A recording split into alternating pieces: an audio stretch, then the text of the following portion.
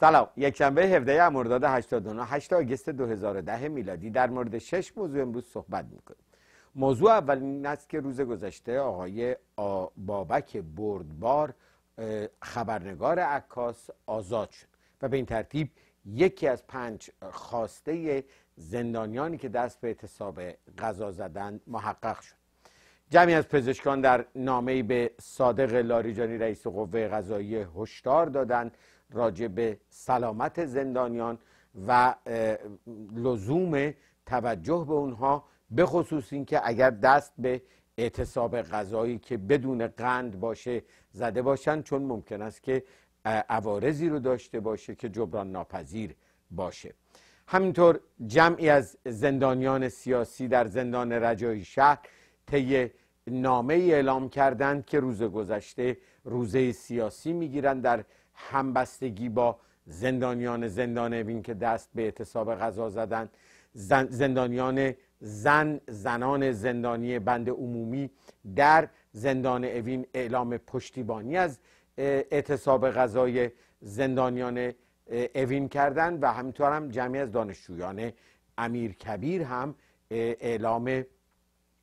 پشتیبانی کردند از اعتصاب غذای زندانیان سیاسی و اعلام کردند که اونها هم از امروز یک شنبه دست به اعتصاب غذا می‌زنند. خبرهای ناگواری هم از وضع جسمی روزنامه نگار شجاع آقای ایسا سرخیز می‌رسه که امیدواریم که هرچه زودتر به وضع آقای سرخیز رسیدگی بشه به بیمارستان منتقل بشه و جمع بزرگی را از نگرانی در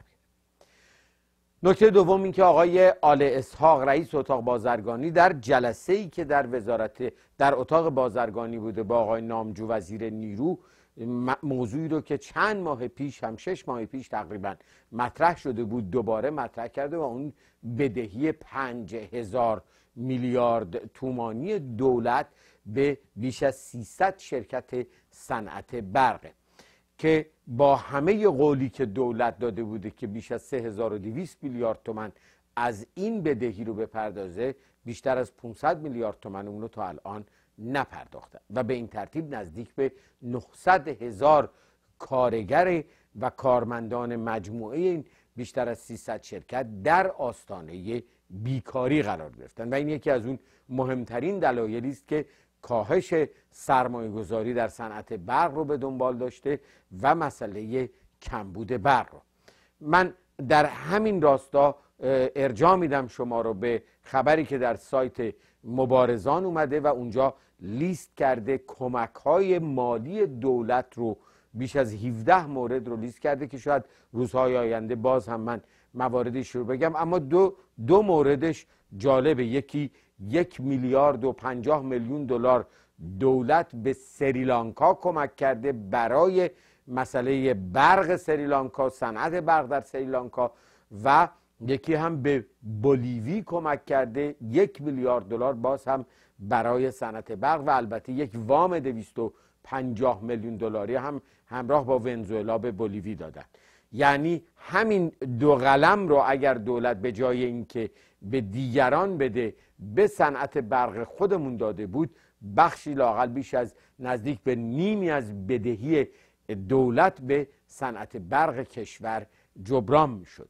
و در عوض دولت در فکر گرون کردن برق چیزی که بارها وزیر نیرو گفته و اینکه با حذف یارانه ها برق رو امیدوارن گرون کنند که به این ترتیب پول به دست بیارن و بتونن بدهی دولت به شرکت های صنعت برق رو بپردازن. بر صورت وقتی آدم این نکات رو می‌بینه انصافا یا به سلامت عقل کسایی که در دولت هستن باید شک کرد یا به ایرانی بودنشون و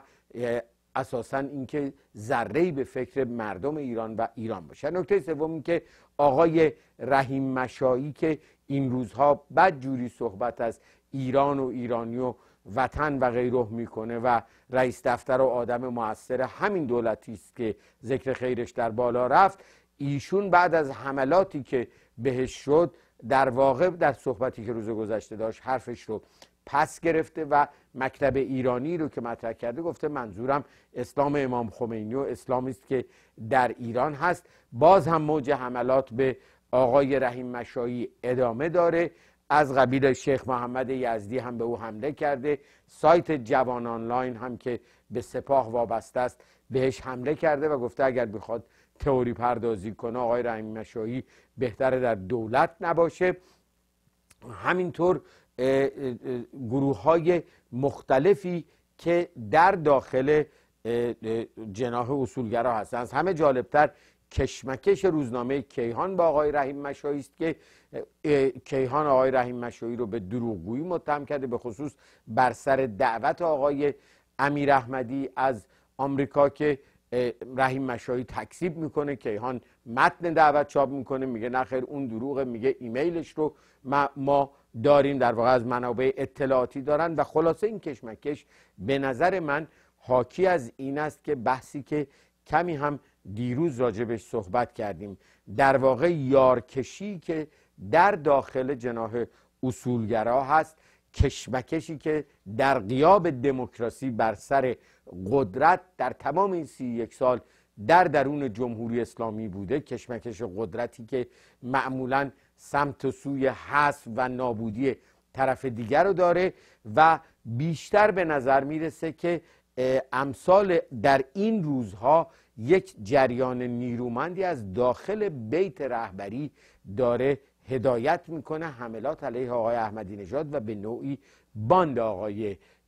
احمدی نژاد و آقای رحیم مشایی رو منتها شخص آقای احمدی نژاد رو بیرون گذاشتن. متقابلا اون طرف هم به نظر می‌رسه که با یارگیری که دارن و اخباری که جست و گریخته به آدم می‌رسه دستی که در پاره محافل نظامی دارن خودشون رو برای پاره رو در روی ها آماده می‌کنن. نکته چهارم این که آقای احمدی نژاد در صحبتی که در جمع خبرنگاران داشته به مناسبت روز خبرنگار از محکومیت آقای بهداد رئیس سابق خبرگزاری ایرنا به هفت ماه حبس تعلیقی در واقع به شدت گله کرده و گفته که این به اصطلاح صحبت ایشون که به جرم توهین به آقای علی لاریجانی محکوم شده در واقع ایشون قانون رو به نفع خودش تفسیر کرده و احمد نژاد گفته فقط آقای خمینی رهبری و رئیس جمهور اگر بهشون توهین بشه محکوم باید بشن در حالی که قانون این رو نمیگه. به هر صورت این هم وجهه دیگه از کشمکشی است که این روزها در جریان. نکته پنجم این که جمعی از فعالین جنبش سبز طی اطلاعیه‌ای که منتشر کردن راه اندازی تلویزیون اینترنتی رسانه سبز ایران رسا رو اعلام کردند و اعلام همچنین اعلام کردند که در هفته اول ماه رمضان این تلویزیون از ماهواره پخش خواهد شد. به هر صورت کار بسیار خوبی کردن کار بسیار مثبتی چرا که در فضای استبدادی خبررسانی یکی از مهمترین ابزارهایی است که